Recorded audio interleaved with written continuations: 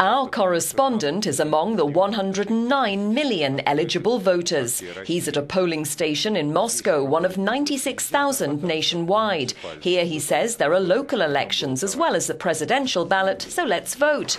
While everything here looks to be above board, opposition parties and an independent watchdog are already denouncing widespread irregularities. Among the claims, some say groups of voters are being taken to one polling station after another to vote several times for Vladimir Putin. Yet these elections are different from others, according to this official, because we've installed video cameras that are live online. Everyone can look at how the vote is unfolding, and we've also got transparent ballot boxes to avoid fraud. In an attempt to allay fears of vote rigging, Putin ordered the installation of 182,000 web cameras to stream footage of voting onto a website. International observers and opposition activists are also monitoring the polls.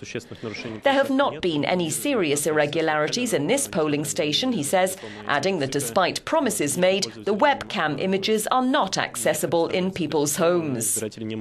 Critics claim the cameras were never going to prevent fraud, with the counting process a serious concern when it comes to rigging an election.